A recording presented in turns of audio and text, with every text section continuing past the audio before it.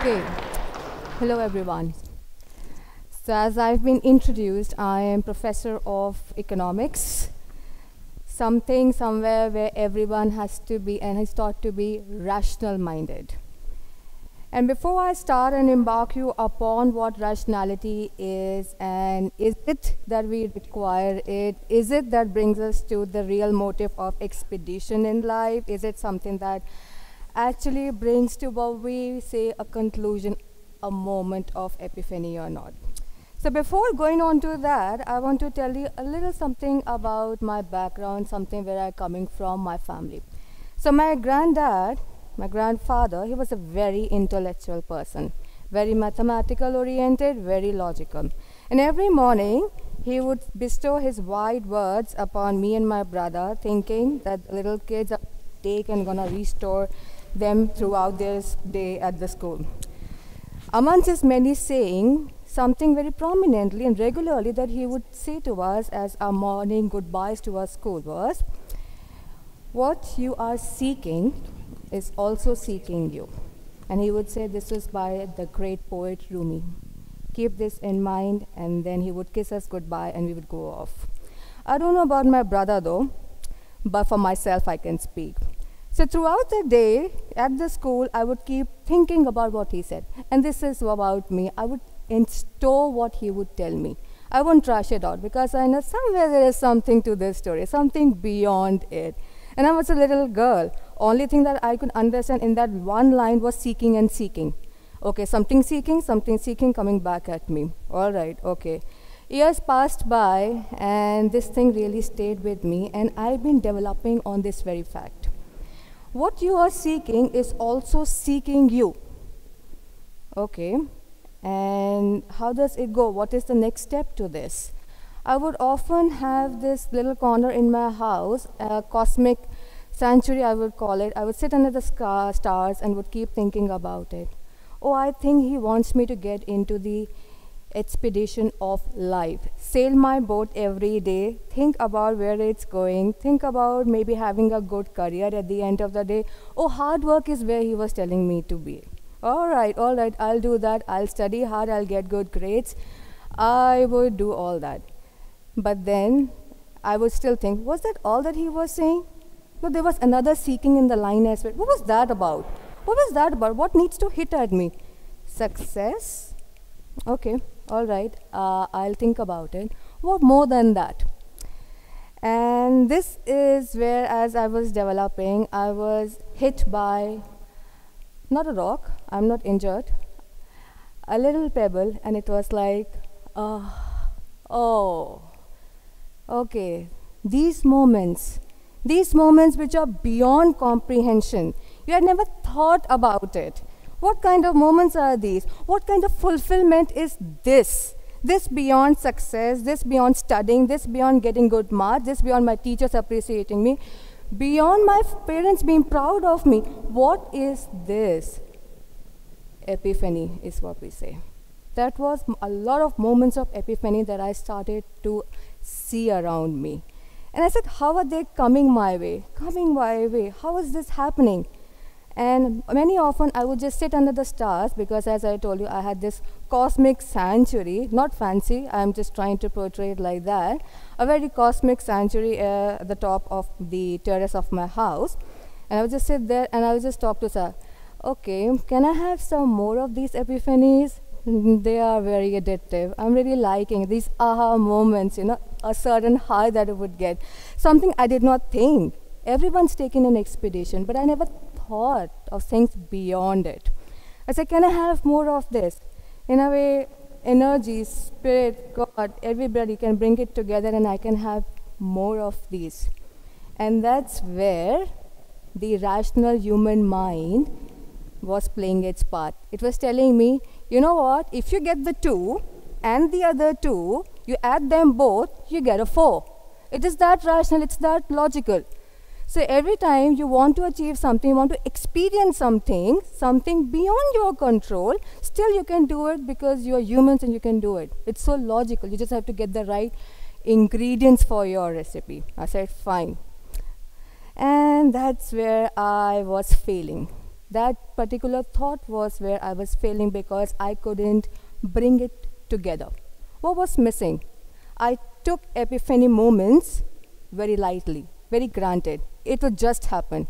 I wanted, it it would happen. No. We humans are have we have this rationality. We always want to optimize, we always want to maximize, and we think we can achieve it. But I'll tell you something and something that I've learned through my discipline. Humans are predictably irrational. This is a term and the title of the book by a famous behavioral economist, Dan Ariely, and he would say this very out loud that we are predictably irrational, and don't worry, there's upside to irrationality. You know why? Irrationality is often understood as absence of rationality. If you say that I am irrational, that means, oh, person I need to keep a distance from. They can do anything. That's not the case. That's definitely not the case. You know what irrationality is? You know what irrationality is? It's simply the things that the rational mind, which you have from your knowledge, from the wisdom, from your skills, from your training, from your classroom, from your workplace, that you have acquired, what is beyond that, that the, your rational mind cannot comprehend, that is irrationality. Rationality is a subset of irrationality. Irrationality is what you are. You observe? Are you not able to make sense? No. You are irrational. You are free. Your mind is free. And it is in this freeness and liberation, you know what you get? Aha, moments like those epiphanies. Yes, you always set out a course. You think about starting your day, you think about starting your life, you have purpose, you embark on a journey, you hop on the ship, you move. End goal, yes, it is there. Yes, do your rational part. Definitely go for it. But do it 99.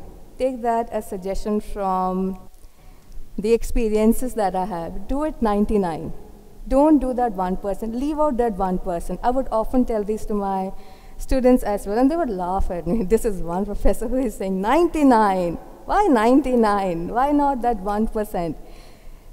And that 1% is where we are giving the space for the other seeking part to come and inflow into you. If you are just putting it out 100%, I've done A, I've done B, I've C, and this will lead me to this, then that's where you're stopping. You just went halfway. You just went halfway. You did not experience the other half. You don't know how it tastes because you didn't let it come it through you. And for that, you have to give it space. It's air, it's energy, it's water. It doesn't have a shape, it doesn't have any, any particular form to come to you. It'll just come to you. And you cannot be very sure whether it will come or not. It's those moments. And this is the my epiphany, the my greatest epiphany that I felt throughout my life, that despite being in a very logical oriented family, very mathematical driven family, everything very disciplined, I had a convent education all throughout. But other than that, let there be some silliness, let there be some smiles, let there be something more than that. I don't know what name to give it, but let there be more of that. And this is where I preach, this is what I like to talk about. Have fun.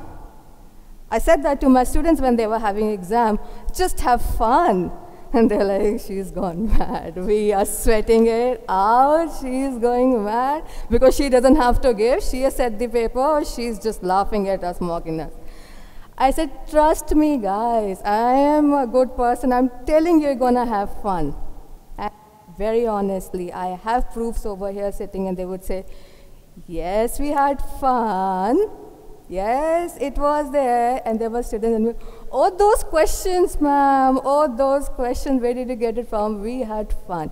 So the dreaded subjects that I taught and I was given to teach became one of the fun-filled subjects. And that's what I'm telling you guys. I was seeking something. I went on that direction and I left a room. I left a room where the other part could also flow in. And it has given me a bond for life with the students. We, across the board, felt it through. It was such a pleasing journey. It was such a pleasing expedition. This is one example. I would say every day is an expedition. The day you get up, it starts the day that you sail your boat. And then take a course. Let the stars guide you sometimes. Do your homework. Mind you, if you don't do your homework, then that's, that's something wrong. That's a bad karma, I would say that. Do your homework. Just let the stars and the energies come to you. Feel their warmth on the coldest of the coldest nights. They will ignite this light in you, which we call as soul, and keep you together. And this is what I've learned, and I really wanted to share this with you. Thank you for hearing me out. You've been lovely audience. Thank you.